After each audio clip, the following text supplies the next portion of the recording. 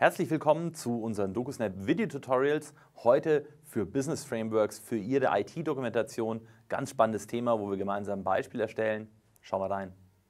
Die Berücksichtigung von Business Frameworks kann eigentlich eine sehr relevante Perspektive und eine wertgenerierende Perspektive für Ihre IT sein. Es gibt COBIT, TOGAF, ITIL als Frameworks, die alle das Zusammenwirken von IT und Geschäftsprozessen betrachten. Und das ist eine sehr relevante Perspektive, die Sie in DocuSnap auch abbilden können. Welches Framework Sie da genau nutzen, bleibt Ihnen überlassen. Aber es ist auf jeden Fall äh, hilfreich und sorgt für Transparenz, ist manchmal auch eine gute Argumentation für Ihre Geschäftsentscheidungen, was Sie für IT mit welchen Prozessen oder mit welchen Services oder Organisationseinheiten benötigen oder kombinieren.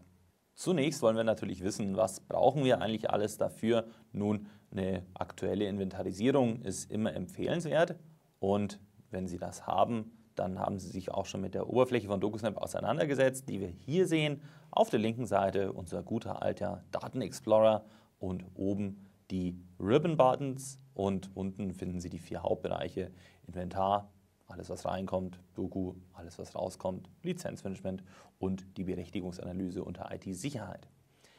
Beim Business Framework geht es um Output, deswegen wechseln wir unter Dokumentation und klappen hier den Datenexplorer auf und finden ganz oben den Punkt IT-Dokumentation.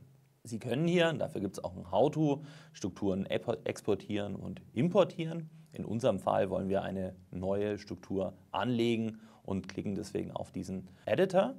Und dort machen wir jetzt ein neues Framework und dafür nutzen wir das Open Group Architecture Framework und starten dort eine neue Perspektive innerhalb dieses Frameworks. Da haben wir dann Ansichten und dort möchten wir eine neue generieren und das nennen wir jetzt mal Architekturansicht. Speichern und dann erhalten Sie auf der Seite hier eine Visualisierung und das kann man auch entsprechend in DocuSnap selber dann ablegen, wenn Sie nicht auf mehreren Monitoren arbeiten. So, und hier starten wir jetzt, indem wir eine neue Ebene anlegen und das ist die Ebene der Geschäftsarchitektur. Beziehungsweise in unserem Fall nennen wir das einfach mal nur Geschäft und nehmen eine Farbe, äh, zum Beispiel hellblau. Speichern das mit OK. Eine weitere Ansicht wird sicherlich sein die Informationssysteme. Und dort nehmen wir die Farbe Orange. Und als nächstes machen wir noch die Ebene Technologiearchitektur und nehmen die Farbe Grün. So. Nun können wir das Ganze auch sortieren, indem wir zum Beispiel hier die Ebene 3 nehmen und Geschäft auf Ebene 1 und Informationssysteme auf die 2. So, unter Informationssysteme möchten wir noch die Daten und die Anwendungen betrachten. Deswegen können wir hier ein neues Strukturelement generieren und das wird einmal dann die Datenbetrachtung sein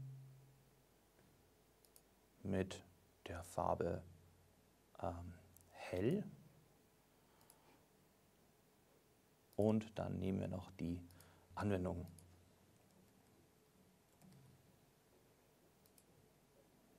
mit hellgrün. So.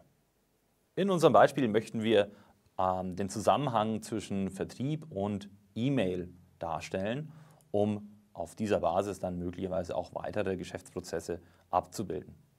Da es sich hier um eine Organisationseinheit handelt, legen wir auf der Ebene Geschäft die Organisationseinheit Vertrieb an.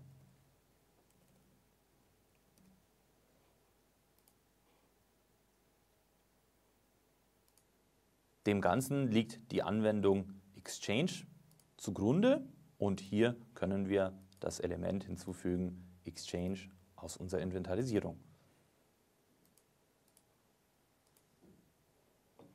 Der Vorgänger hier ist der Vertrieb.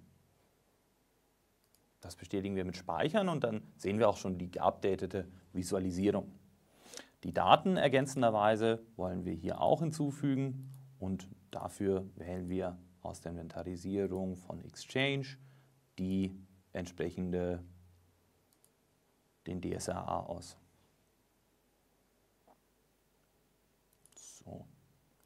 Die Technologie, die dem Ganzen zugrunde liegt, die ist unser DSEX, der Server, und den können wir auch hinzufügen, indem wir ihn entweder auf unserer Netzwerkebene hier auswählen und das mache ich jetzt einfach mal hier. Sie können allerdings auch unter Exchange den auswählen.